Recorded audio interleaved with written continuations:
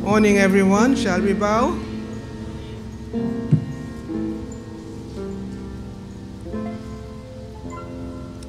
Our Father and our God, creator of the universe, creator of this earth, creator of the Bahamas, creator of each and every one of us, we come before you this morning with thankful hearts. So much we take for granted, oh God, the fact that we can just wake up and do what we need to do and get ourselves ready, get our hearts ready, get our minds ready to come into your house to worship you. We just say thank you. We just say thank you for just being the kind of God that you are, in spite of us being so unworthy and so undeserving. And so, oh God, we come to give you praise this morning. We come to worship with one another, to fellowship with one another, to receive from your manservant whatever it is you have laid on his heart for us today. Oh God, we would ask a special blessing on this service as it goes forward. All that is said and done may be done decently and in order, and ultimately that you may get the honor and the glory. Bless each person who is coming. You know what their particular needs are. You know what their hurts are, what their aspirations are, what their joys are, what their sorrows are, what their challenges are, oh God. And we would ask that you would meet those needs, which, things which they need to help them to feel fulfilled and to feel that their life is worth living. But above all, God, we ask that your Holy Spirit stay close to encourage here, to, to perhaps congratulate there, and just to help your people, your children, to do what they need to do, to live comfortably, and above all, to live within your will.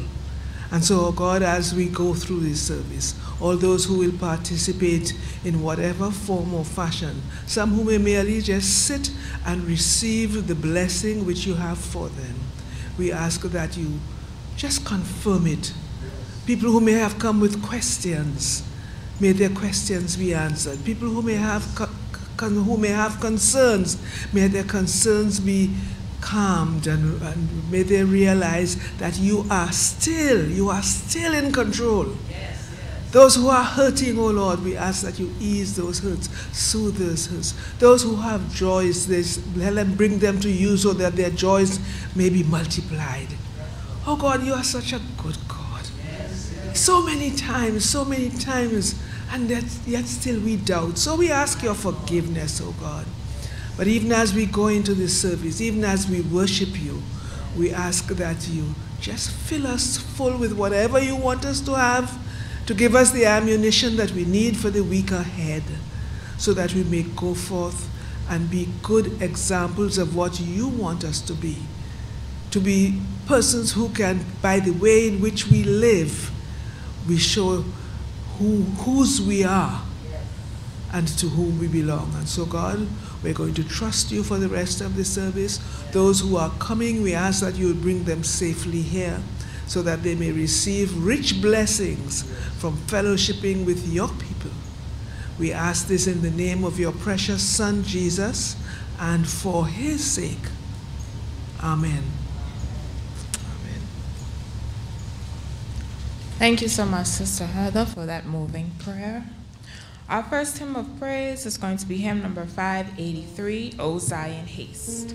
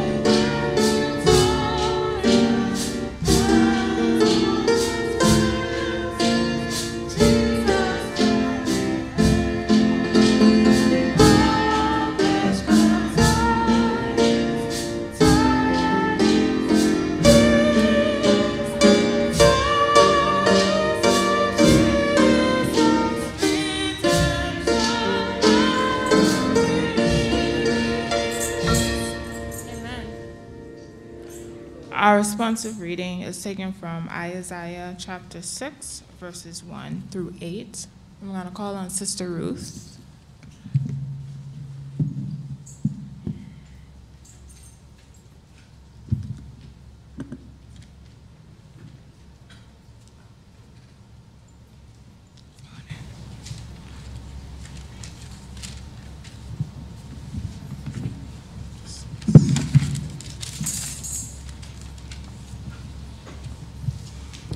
Pleasant good morning, church. The responsive reading is taken from Isaiah chapter 6, verses 1 through 8. We will read responsively. Let's begin. In the year that King Uzziah died, I, I saw also the Lord sitting upon a throne, high and lifted up, and his train filled the temple.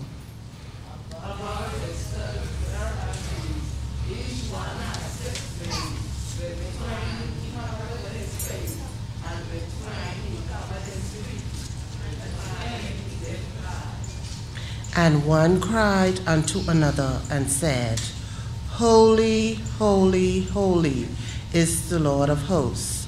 The whole earth is full of his glory.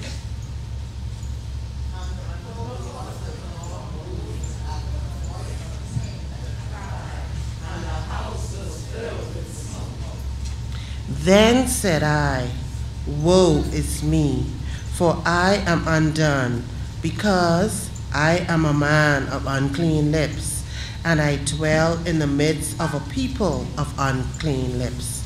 For mine eyes have seen the King, the Lord of hosts.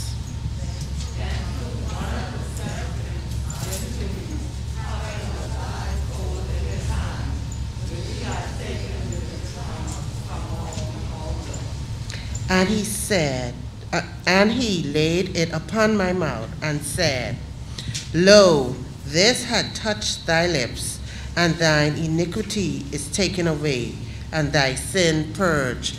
The last verse together, please. Also, I heard the voice of the Lord saying, Whom shall I send, and who will go for us? Then said I, Here am I, send me. Amen.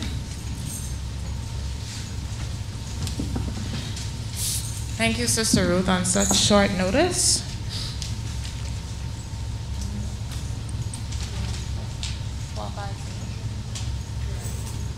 Our prayer song is hymn number 450.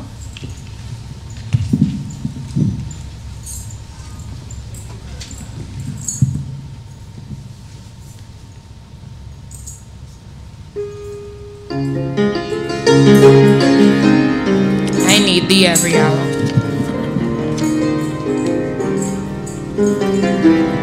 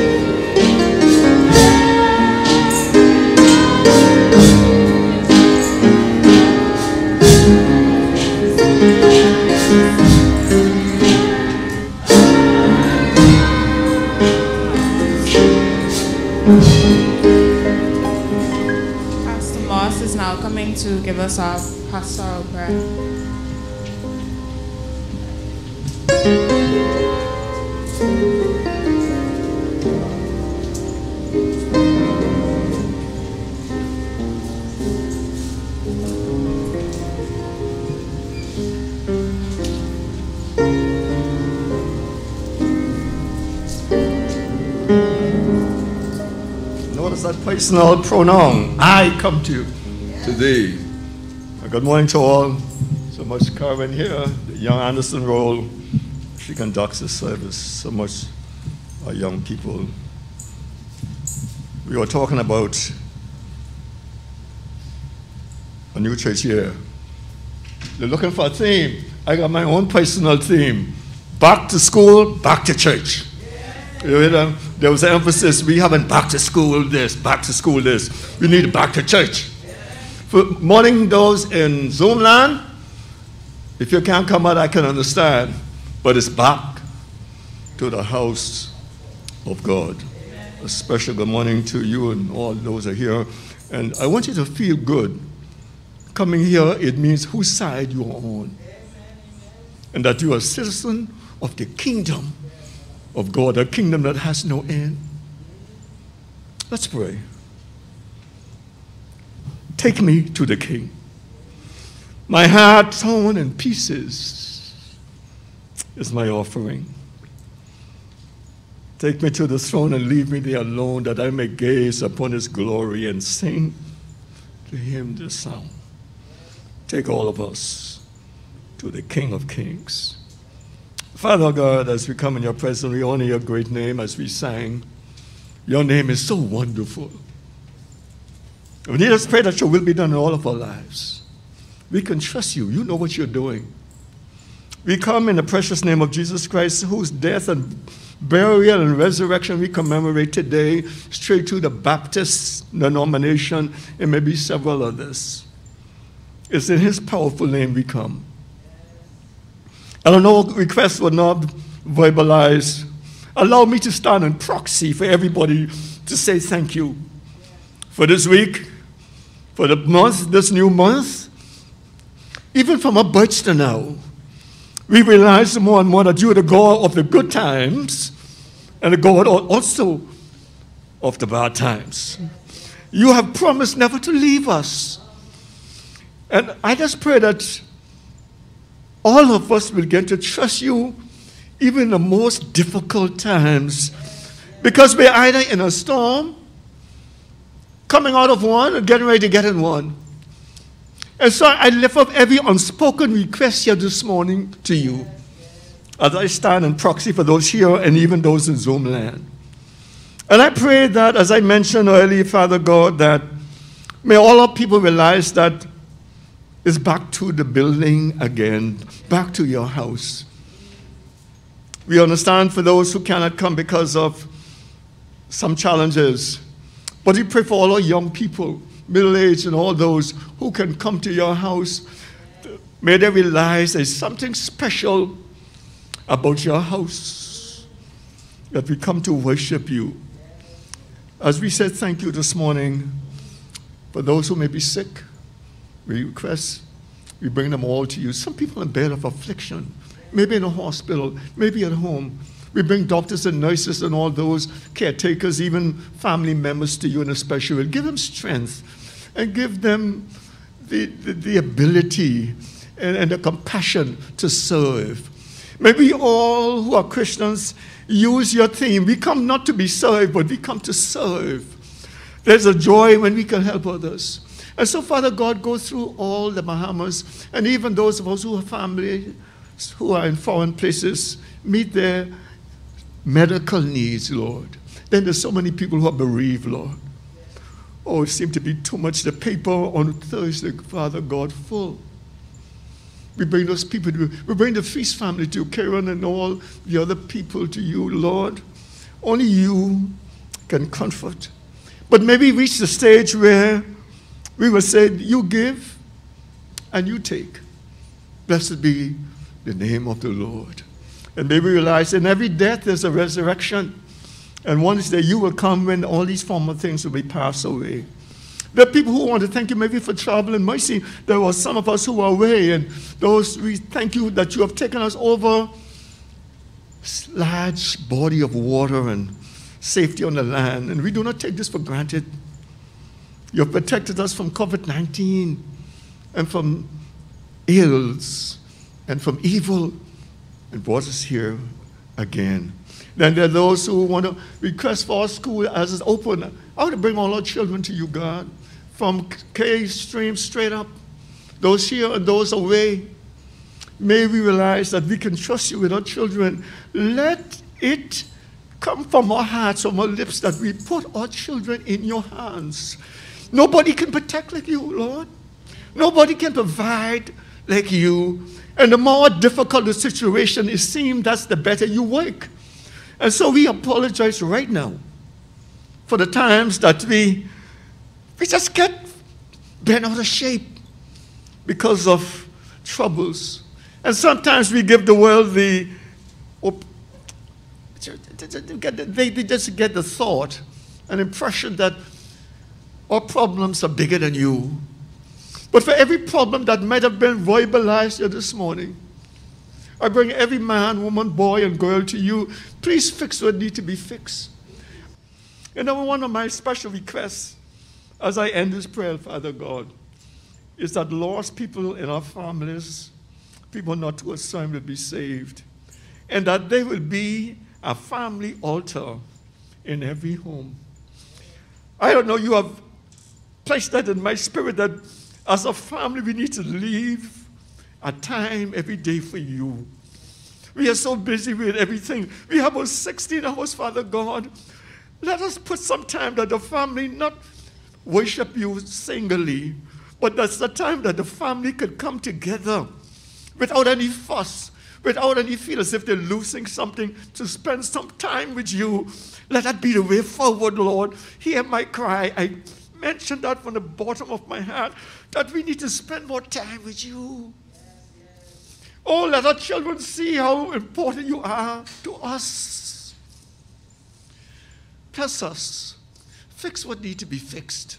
Bless Temple. Bless Providence. Bless Central. Bless all the pastors and whatever they may call themselves today. May souls be saved today. Even as your word goes forth, may we all worship you in spirit and in truth. In Jesus' name, amen and amen. Thank you, Pastor Moss. Please follow along with me in your bulletins as I go through the announcements. Our Wednesday night Bible prayer and Bible study is held at 7 p.m. on Zoom. The ID is 839 0453 8547 and the passcode is 009224. The topic is Set Free, Stay Free, and it's taken from Ephesians 2 11 through 22, Galatians 3, verse 1. And the homework that you have to do for this week is read Acts 15, verses 13 through 21, and list points that James made and his contribution to the discussion. Our prayer concerns. Let us continue to pray for those who remain shut in from the pandemic and from natural causes we also pray for our nation's children and teacher, teachers as they head back to school. Condolences to the McDonald, Roberts, Cambridge, and Feast families on the passing of Sister Karen's sister, Monique. Birthday observances. A belated happy birthday goes out to Tangela Bain Forbes and Annie Stewart, also brother Ulrich, in, who lives in the Cameroons. On the 5th, we have Cleophas Longley and Travon Seymour. On the 9th, Sydney Chad Roll. And on the 10th, we have Jaden Feast. Thanks to Pastor Moss for a fresh challenge to love God extravagantly. We are looking forward to all the auxiliaries or ministries regrouping in October, which is the new church year. And we ask that you please pray and ask the Lord how and where He places to use you so that you can be ready for your posting when He directs. A list of places of service, service is printed on the back of this bulletin today. Next Sunday, in the will of the Lord, you will receive a form on which you will be asked to indicate where you feel God is directing you to work in the church and we will offer training in your area of choice.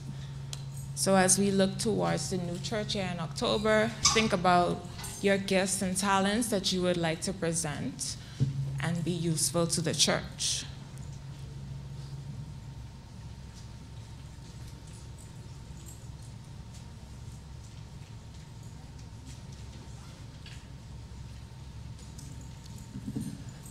Thank you for following along with me, and I'd like to now say welcome to church, everyone. And I hope that today is a blessing to you and this service. We know this upcoming season is the fall season here, and we don't really celebrate fall in the Bahamas, but I know it's getting closer to Christmas, and I can feel it. Our ushers for today are Sister Woods' team, the 11th, and Sister Baines' team on the 16th. Our thought is, our thought for the day, sorry, is service should come from the heart, and that is from Reverend Denzel Care. Thank you for listening. Our offertory hymn is hymn number 571, Let Others See Jesus in You.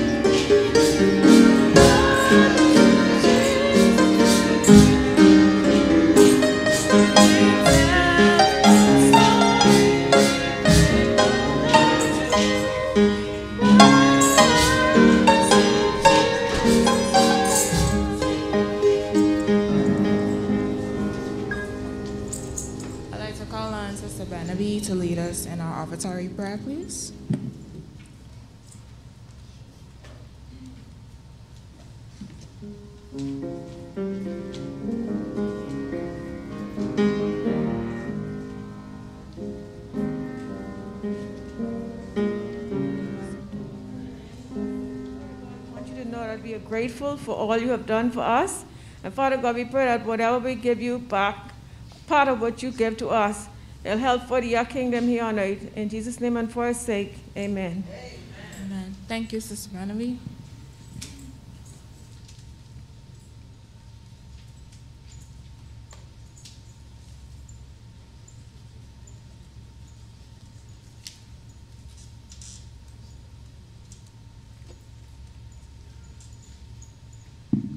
Uh, Please stand for the scripture reading. I'm going to ask Sister Jackie to come and read that, please.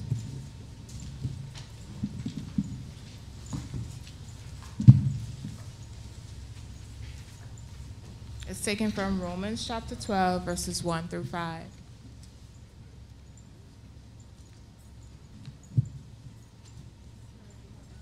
Yes, ma'am.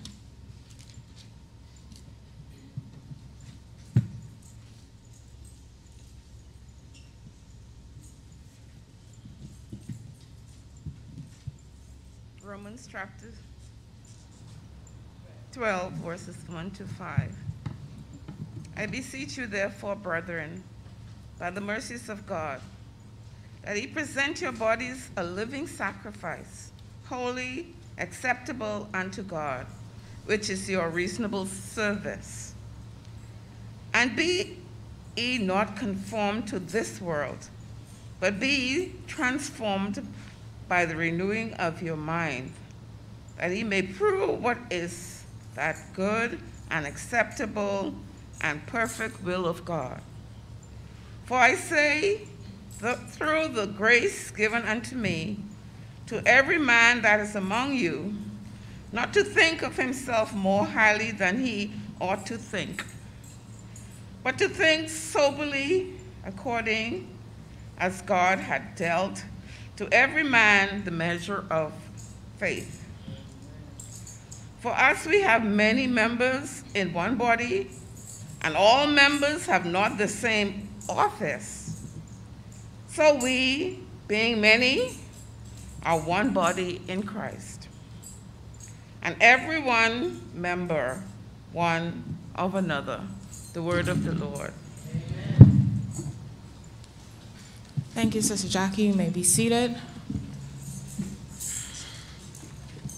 At this time, we're going to have a medley of songs. The first hymn is hymn number 132. We're going to sing the first and last verse.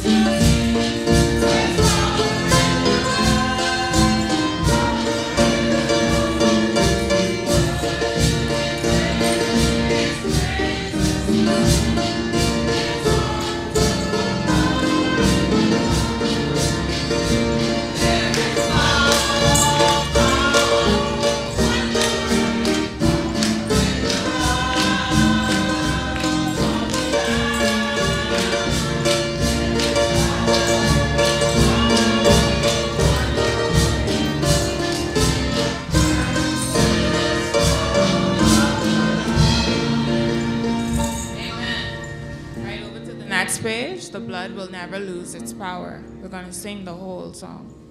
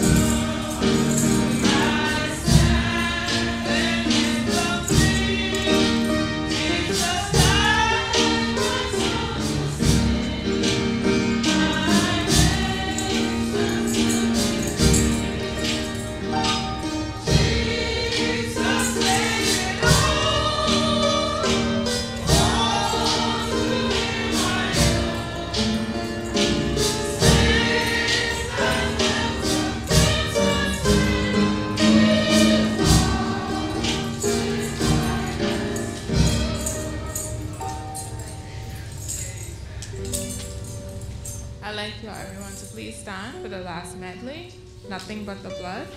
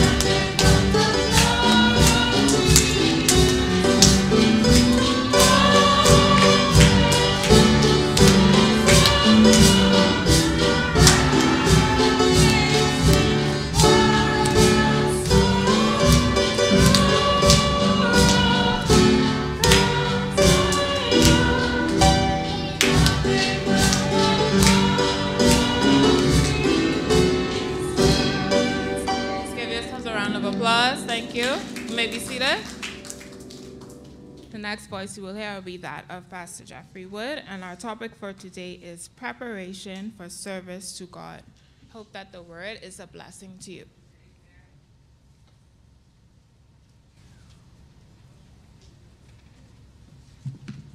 I want to thank uh, Sister Karen for sitting in for Sister Dolores, who is not uh, feeling well. Uh, her voice, she has voice difficulties, and um, she asked that we have someone to sit in for her until such time as she can regain her voice. And so, um, uh, Sister Karen, with, uh, Karen, I was very quick to say yes when I asked. And of course, you saw her performing this morning. I want to say thanks.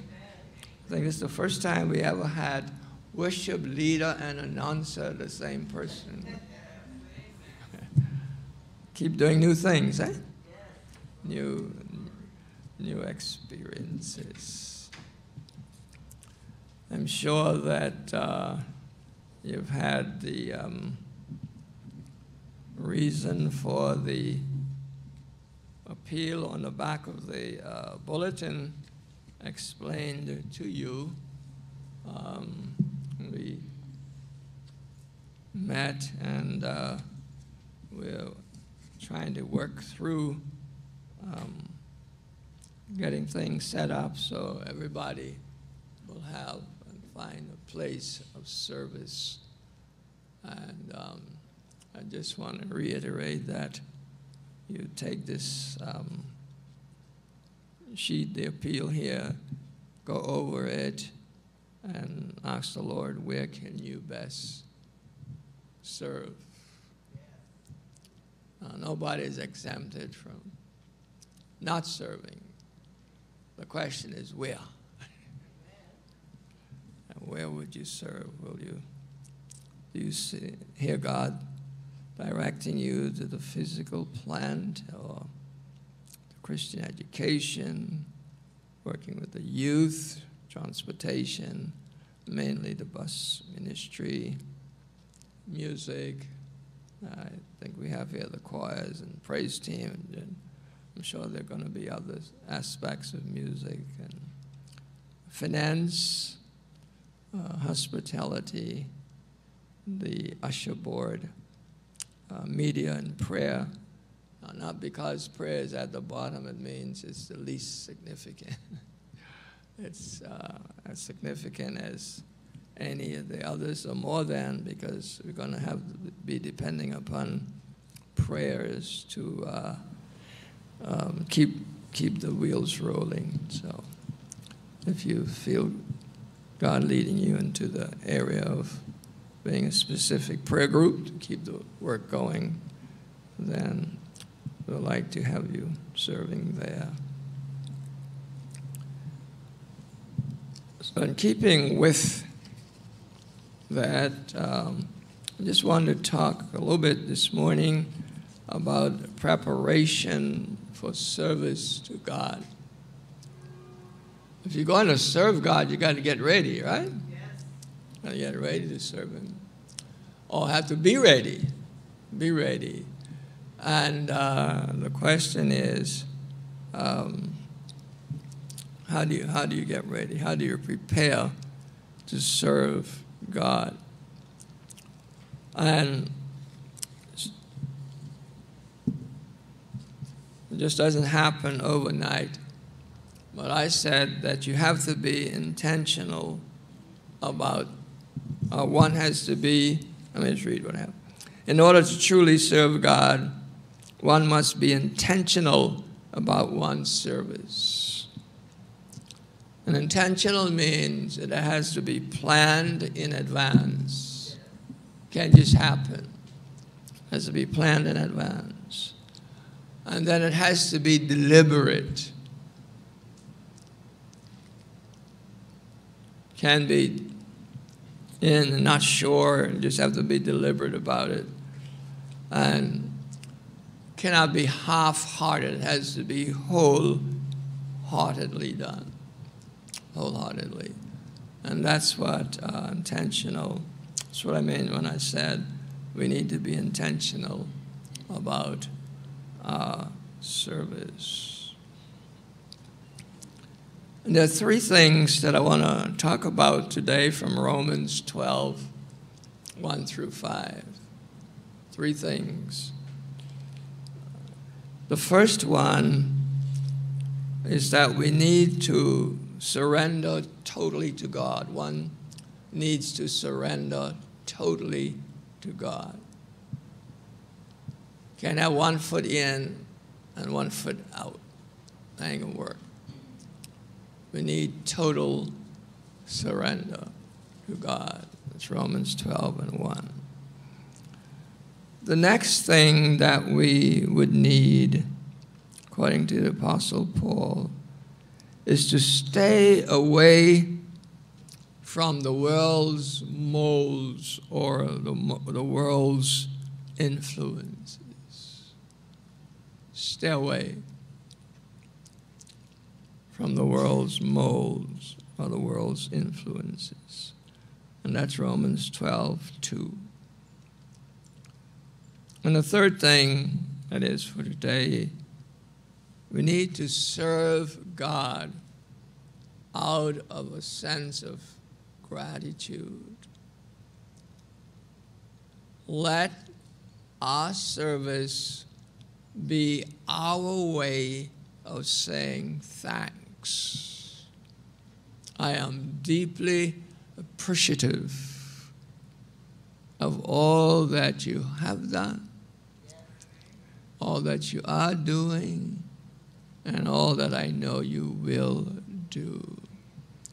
And one of the things that's lost present day is a sense of gratitude. We've, we've let our children come to think that we have to do it. And so they just take it. We've let our spouses think we have to do it. Just take it. We've let our family members think we're obligated. We're obligated to do anybody. You do, you do it out of a heart of love. So at least it should bounce back with a thank you. And we need to serve because we're grateful. We're grateful to God. Let's pray. Our Father, thank you so very much for this day and the this is a peaceful day that you've given us. All we need to do is to pause and to worship you in spirit and in truth. And God, we pray that you'll take these few words that will be spoken on your behalf this morning and apply them to our hearts so that we could be the best possible workers this year we can, as we can be. And God, we thank you in advance. In Jesus' name we pray. Amen.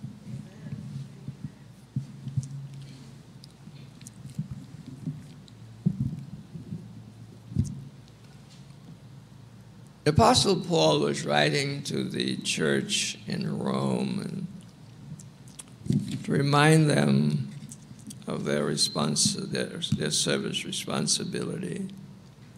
And they should try to get it right.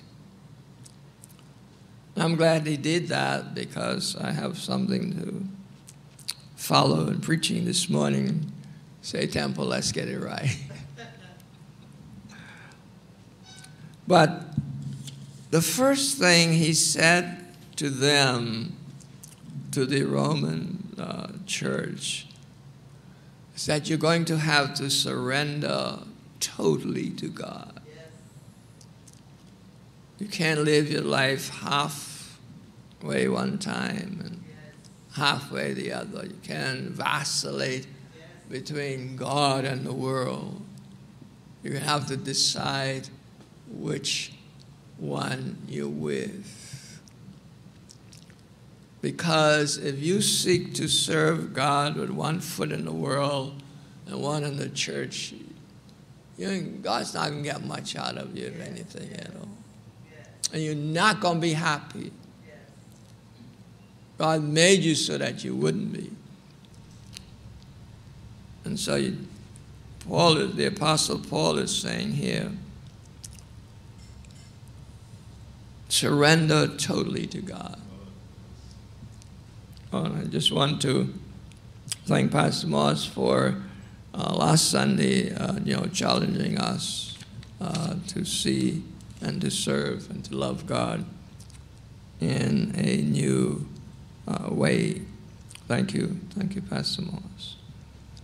Apostle Paul says in Romans chapter 12, verse 1 I beseech you, therefore, based on what has already gone ahead from chapter 1 to chapter 11, I beseech you, brethren, brothers and sisters, fellow Christians.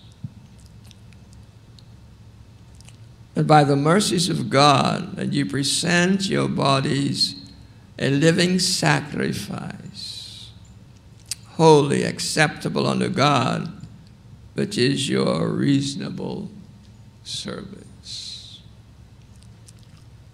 And the word beseech could be the same thing as I beg you. I plead with you.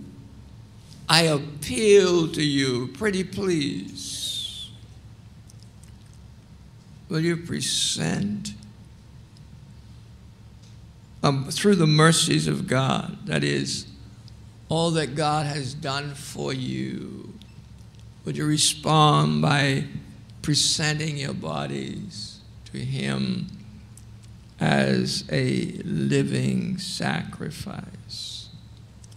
As I was doing this, I thought, how come, in order for God to appreciate the sacrifices of animals, goats, and bulls, and heifers, and birds, they have to be dead. But here, he's saying, in order for me to, uh, to appreciate the sacrifice of people, has to be alive. I don't want you when you're dead. I don't want you when the worms are eating your body or, or you've gone through total decay. That's, that's no joy to me as a human being. I want you now.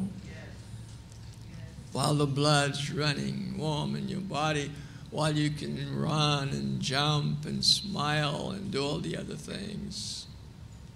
I want the best of your life. I want you to sacrifice that. Put that on the altar of sacrifice. That's what I want from you. While you are alive.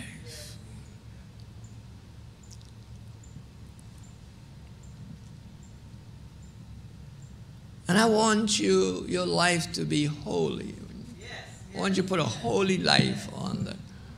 I want you to just come with old sinful life. You ask for forgiveness and da da da. Get deal with your sin so that when you come to me, when you when you give me your life, it's a holy life. It's a holy life. You can't just throw anything to God. God deserves the best. And you have to be the best possible sacrifice you could be. And you come to God. It's my all on the altar of sacrifice. Not only does it have to be holy, it has to be acceptable unto God. Remember Cain, Abel? One brought just any kind of sacrifice, and it was not acceptable to God. The other, his sacrifice was intentional, was planned and God accepted it. And so I want to say to each of us this morning let's be intentional about our sacrifice to God, about what we give to God. I like the term which is your reasonable service. You know what Paul is saying? That's the least you could do. God's not asking for something out of your realm of your possibility. At least you can give him your body. Put that on the altar. not a dead body, but a living, holy body. A body that's acceptable, that God can accept and ex- receive and make God happy.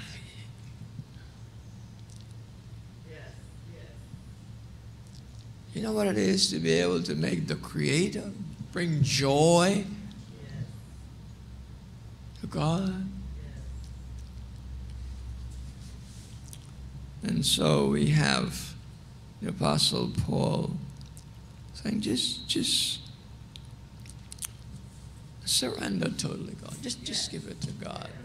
Not only give Him, uh, you know, the total, but give Him the best that you can give Him. Don't, folk, don't treat God like somebody who's only due to the scraps of your life. Don't throw the scraps of your life to God. Give Him the very, very best. And you know why? Because He gave you His best.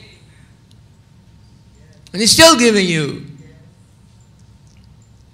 New every morning is God's love awaking and uprising proof. So every morning, God gives your body the go ahead.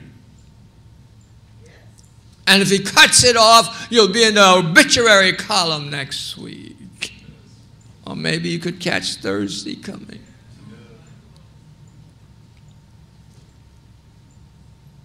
So the mere fact that you're alive every day means that God is giving you His best. He's giving you permission to go on living in His world. Permission to have to eat of His food and drink of His water.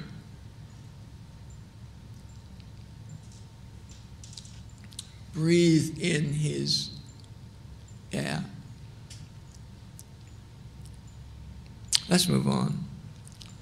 The second thing I just want to say, the Apostle Paul said to the church, at the Roman Christians,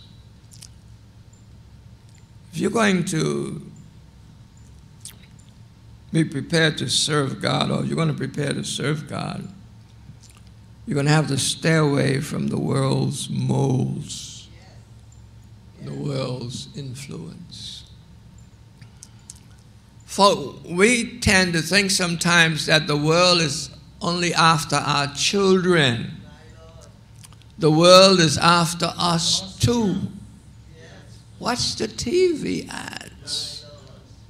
Listen to the radio. Listen to some of these programs.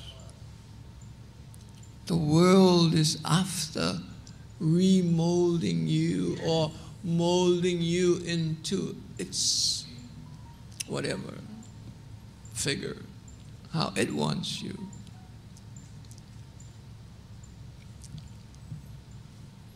So the Apostle Paul says, and be not conformed to this world. Stay away from the influences of this world. Stay away. Because they're strong and they will suck you in. Even if you go on the edge, it's so, they're so powerful, they'll pull you in. And the intention of the world is to destroy you. The world's intention is opposite to God's. God wants you to be all that you can be. God wants you to be the greatest person you could be. The world's, no, I want to destroy you. What did Jesus say? That the evil one came to do what? Kill, steal, and destroy. That's the world's plan for you, you know.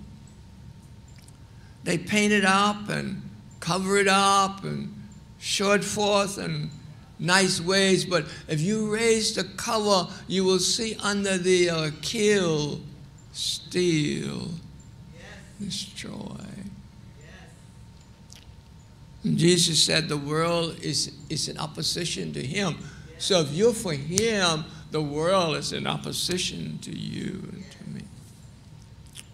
So Paul said, number one, don't be conformed to this world. Conformity to the world is dangerous. So, what do I do then, Paul? He said, but, forget about that conformity to the world. Be transformed by the renewing of your mind.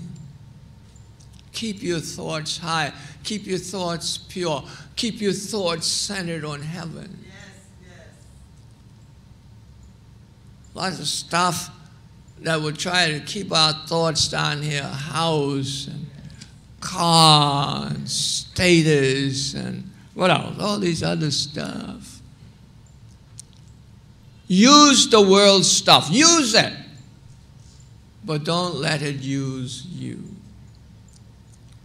Don't let it hold on to you. In fact, make sure that you're, you're focused in heaven where, where you sit, where, you are in Christ, and Christ sits at the right hand of the Father. Let our behavior be heavenly, not earthly. Be influenced by heaven. We must practice transformation, changing.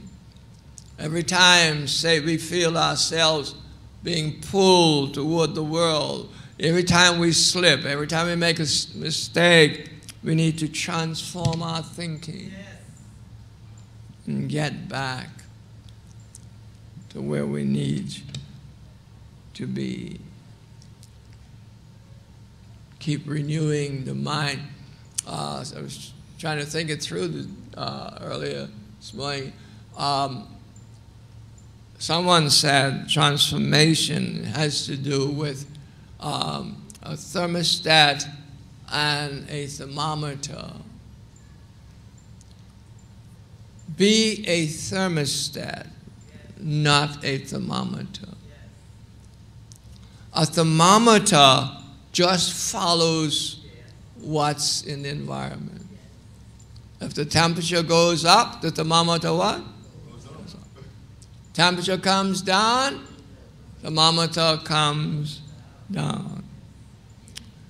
The, if you're not careful, the world will have you behaving like a yo-yo. One moment up, one moment down. Another moment in between. Up, down, in between. So you need to be a thermostat. A thermostat sets the temperature it wants for the environment. Ain't that good? Thermostat puts it where it needs to be. Not, follow, not following the, the environment. It sets the standard. I want you to be 73 degrees, so the thermometer sets it at 73. Be, not the thermometer, the thermostat. Be thermostats. Transform.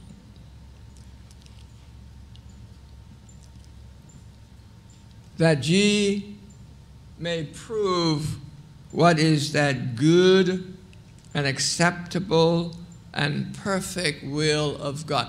When you do that, when you behave like a thermostat, you will certainly prove God's acceptable will for your life. And God's will means you'll know where it is that God wants you to go, where, when, how, and the like. And you can't serve if you don't know God's will for your life. Can't serve. The third thing we want, first we said surrender totally to God, stay away from the world's molds and influence. And then Romans 12, 3 to 5 says, serve out of a sense of gratitude. We touched on that earlier. When you serve, serve out of a sense of gratitude. Put others above self. Wow. Verse 3 For I say, through the grace given unto me, to every man that is among you, not to think of himself more highly than he ought to think. Wow. So many people go around town, this me now. You don't know who I is, eh? I'm up here, you're down there. I've arrived. You, you haven't even started yet. It's me. That's very much a small island, small country syndrome. So the Apostle Paul said, Be extremely careful to serve out of a sense of gratitude. we may ask the Apostle Paul, why so? Why? Why you say that? Why, what, what does gratitude have to do with my service? He would say a whole lot. A whole lot.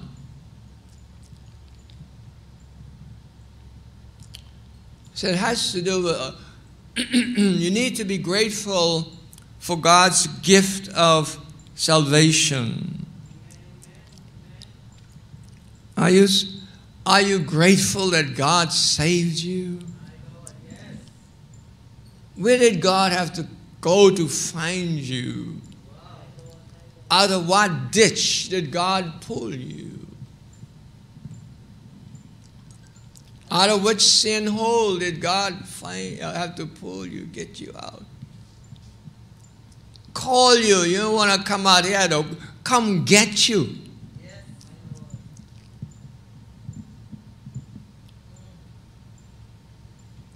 And even if it was not that bad, God still had to go and find you because you were lost in trespasses and sin. And He came because He loves, loves us. He still loves us. And He gave His only begotten Son to die for us.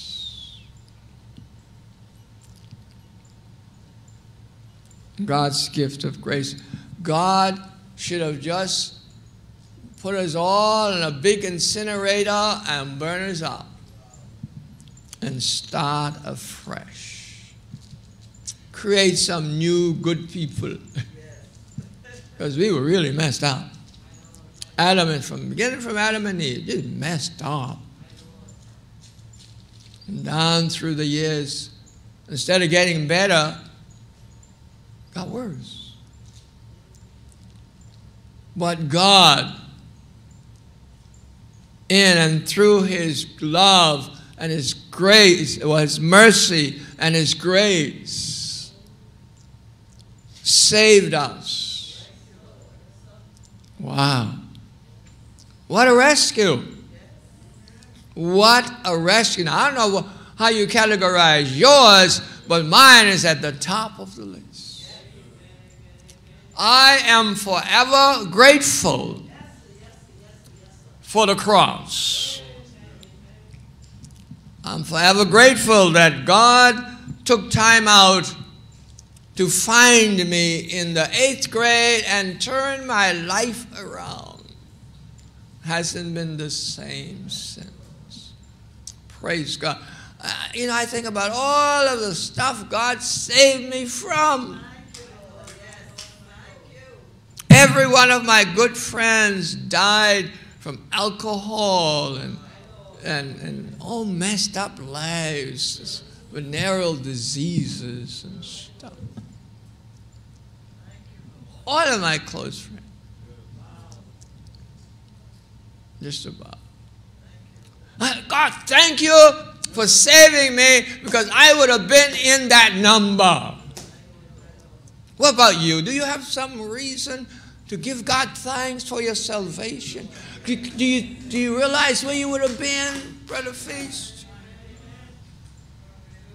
God didn't get there and block the road and change your direction. This way. This way. Block off that way. Oh, Sister Annette, I'm so glad. I am so glad. And Jesus saved me. I don't know what he's doing all the way down Turks and Caicos, but I'm not questioning that. He just came. He came for me. I know where you were. He came there for you. Also, because of God's gift of faith, without faith, we would not have been able to believe. Without faith, life will be a big mess today.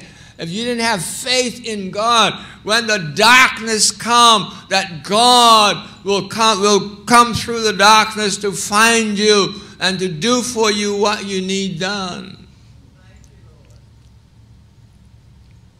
We have faith and trust that tomorrow is okay because it's in the hands of God. So whether I'm alive or whether I'm dead, things are going to be okay because of my faith and my trust in God.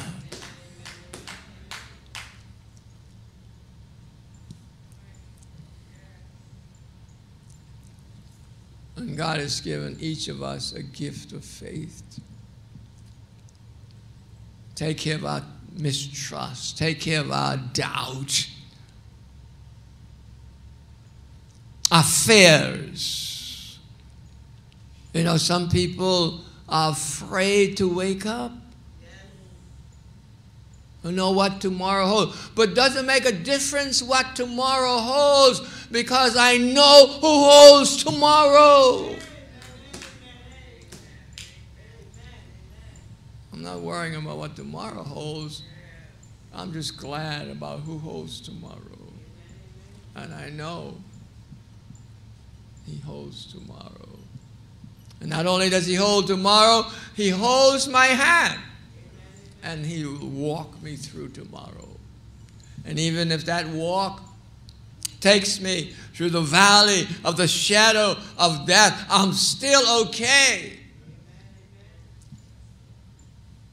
Because he knows the way. Another reason for our gratitude should be because of God's gift of oneness in the body of Christ. We've been looking at that. You know what it is for God to take people from all over the place, all kinds of bad ways, messed up people, drunk people, drug people, base house people, and transform them and put them in the body of Christ and make them one new person. I don't know if you got it. But our oneness in Christ. You belong to me. I belong to you. We belong to each other.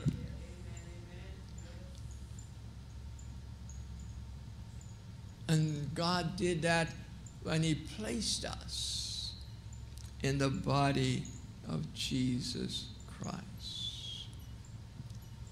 And nobody is better than anybody. I don't care what you have or what you don't have. God doesn't measure by what you have, God measures by your heart. God looks on the inside.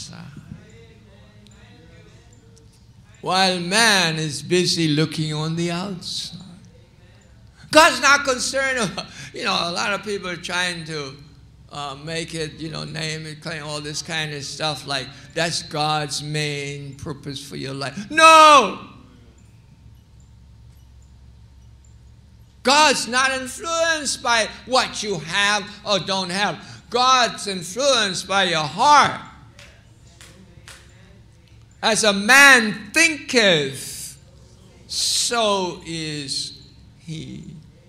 Not what a man has, so is he, but as a man thinketh. His obedience to God, that's what makes the difference. Remember Saul? Saul was this big, towering guy. Saul's armor bigger than anybody else's. And Saul was a wizard when it came to fighting. He was a soldier plus. He was Israel's king. They looked up to him. Look at Saul. Don't mess with Saul, or you'll get what's coming to you. And that got him pumped up with pride and the like.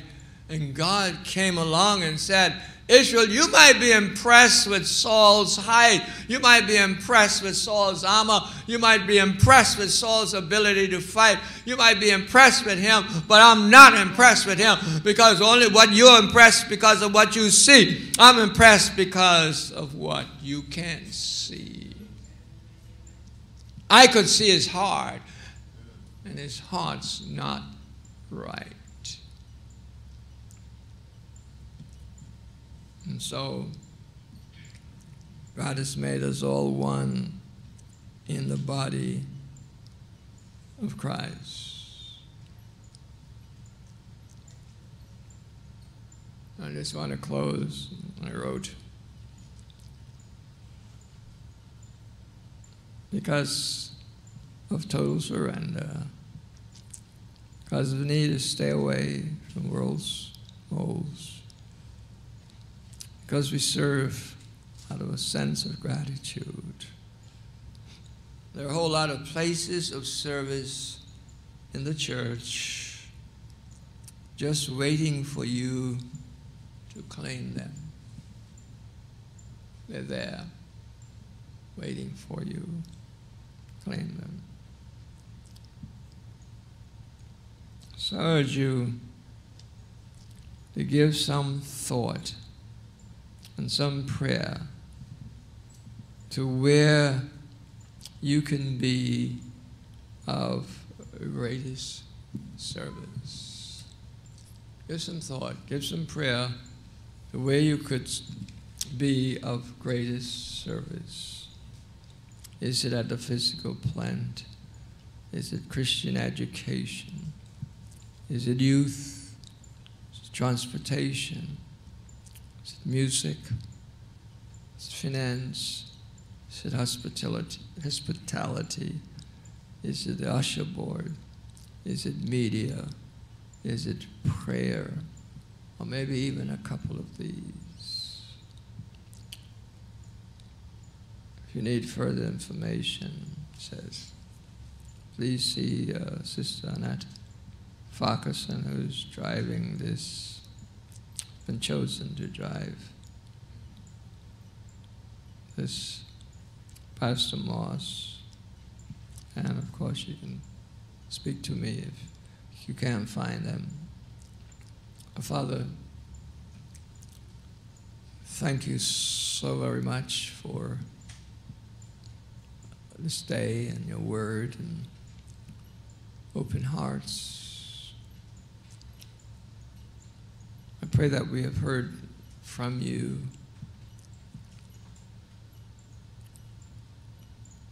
I pray, Father, that anything that you do not want to find place rest in people's lives, you will erase that. But those things, God, that you want them to receive and to meditate upon, think upon, and respond intentionally.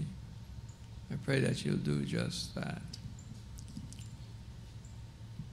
Father, as we look forward to a great year ahead of us, it cannot and will not happen unless we have willing workers, intentional workers. And so, God, again, I ask that you'll begin working, or continue to work on hearts. And as a result, we'll have the greatest year ever.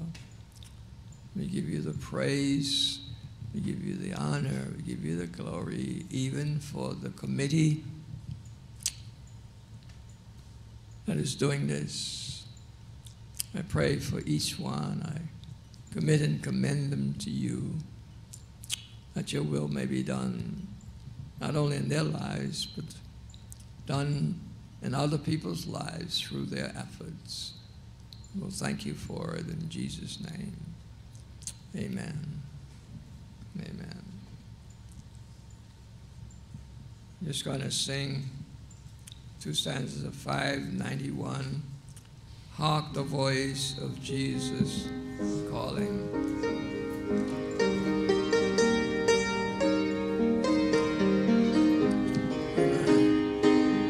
Trust that this will help you to crystallize your thought, your decision, least start thinking about it.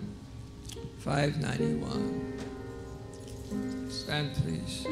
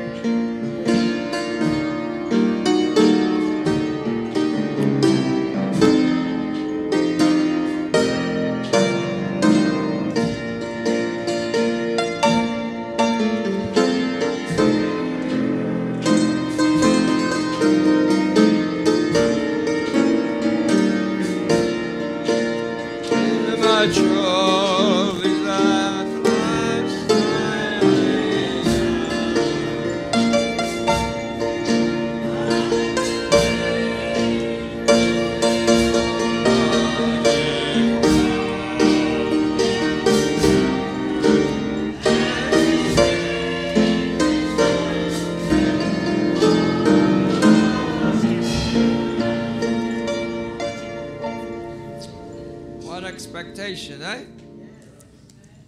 I'll exchange it someday for a crown. Let's turn to our responsive reading, 698, if you have a book near you. And it's an account of the Lord's Supper as um, Apostle Paul understood it and shared it um, in 1 Corinthians chapter 11 and 1 Timothy 1. For I have received of the Lord that which also I delivered unto you, that the Lord Jesus, the same night in which he was betrayed, took bread, and when he had given thanks, he brake it and said,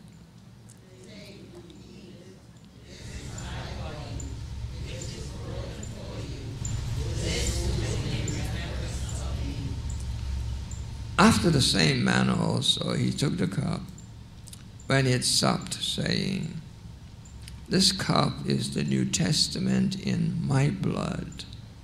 This do you as oft as you drink it in remembrance of me.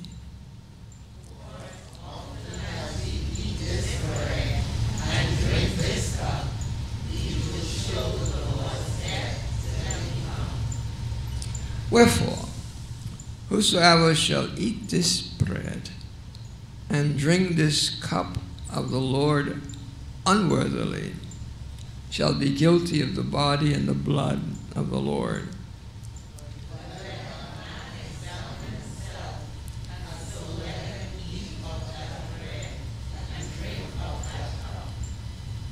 For he that eateth and drinketh unworthily eateth and drinketh damnation to himself, not discerning the Lord's body. And together we read, Now unto the King eternal, immortal, invisible, the only wise God, be honor and glory forever and ever. Amen. Amen. We've come to this uh, ninth time in observing the Lord's Supper, or ninth month observance of the Lord's Supper. And so we are going to ask uh, Brother David and Pastor Moss uh, to do the prayers. Um, David do the prayer for the bread and Pastor Moss for the Let us pray. wine. Heavenly Father, I give you thanks and praise for this day, Lord. This is the day that you have made. Let us rejoice and be glad in it, Father. As we take this bread, Lord, of your broken token of your broken body, Lord, let us take it in remembrance of your broken body, Father. And as we eat this bread, Father, may we have remembrance of your suffering, Lord. In Jesus' name I pray. Amen.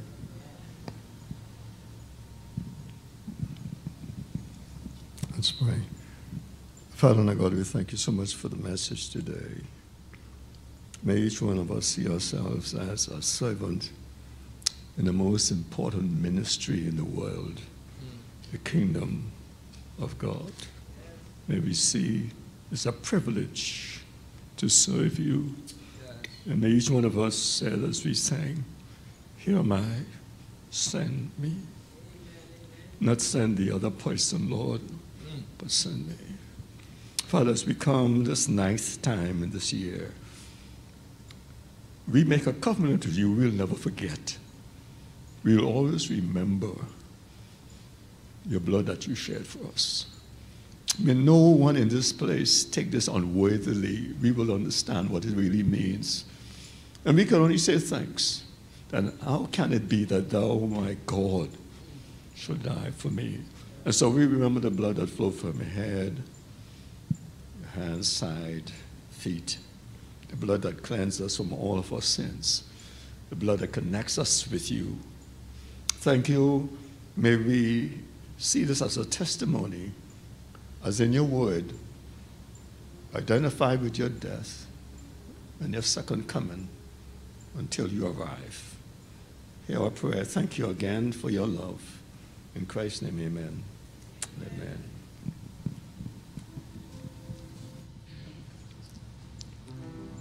Mr. Ruth,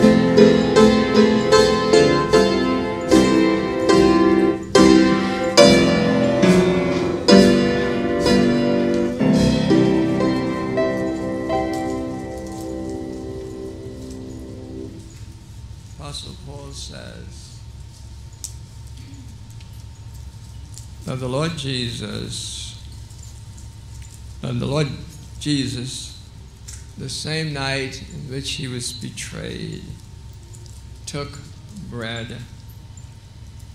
And when he had given thanks, he brake it and said, Take, eat. This is my body which is broken for you.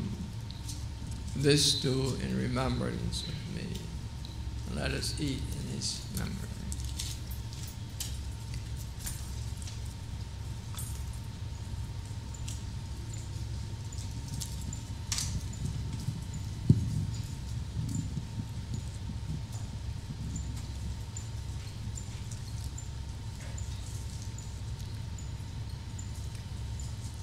After the same manner, also he took the cup when he had supped, saying, This cup is the New Testament in my blood. This do ye as oft as you drink it in remembrance of me. Let's drink in remembrance of our Lord.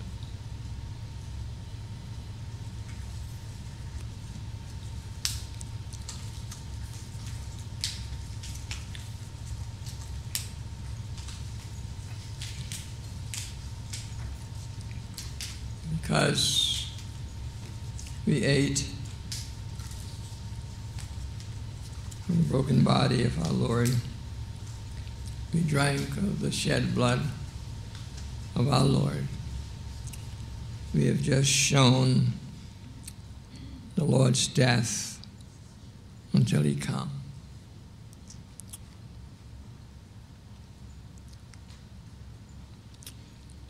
God, we are so very, very grateful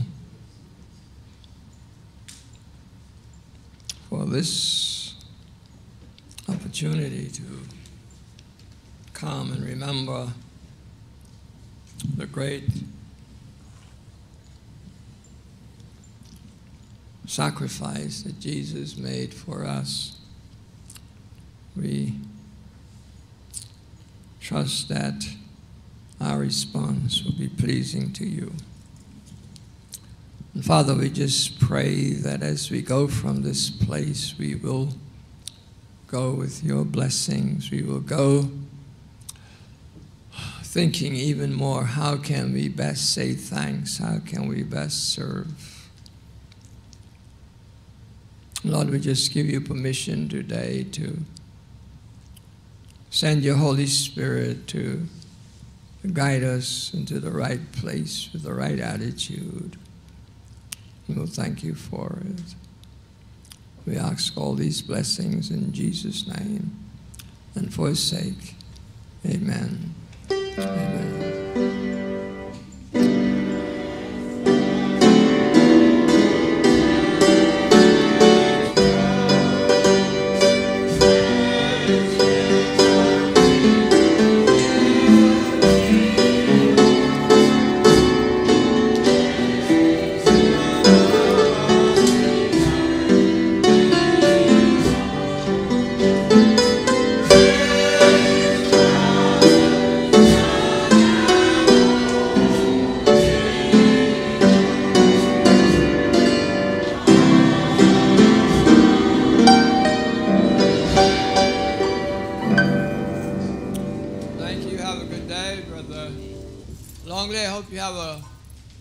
Tomorrow. Your birthday, we'll be there. Just let us know what time the party. We'll be there to collect our cake, and I'll, and I'll write them all.